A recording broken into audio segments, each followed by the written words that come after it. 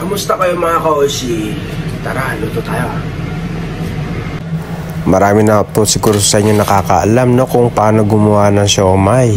Pero itong gagawin natin is masasabi siguro na siomay na hubad or siomay patty. Pwede nyo siyang ipalaman sa tinapay or i-match sa suka na may kasamang kanin syempre. Pwede nyo nga rin to gawing lumpia, ibalot nyo na lang sa lumpia wrapper, di ba? Julian cut nga pala sa carrots at sibuyas. Bakit nga pala tinawag na Julian cut ang cut na yon? Konting kaalaman lang po.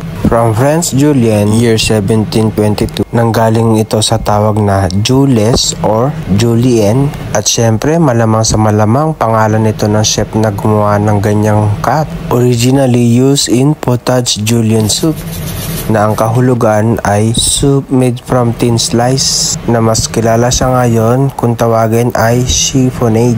Nagustuhan niyo ba ang aking munting trivia mga koshi? At kung nagustuhan nyo ito, please share naman dyan. Baka naman, share the knowledge, ika nga nila.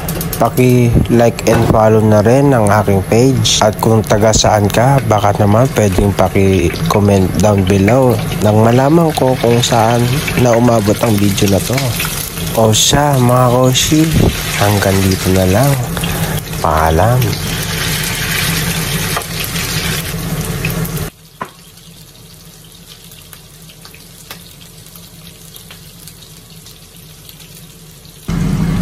Ayan na nga siya mga kawashi.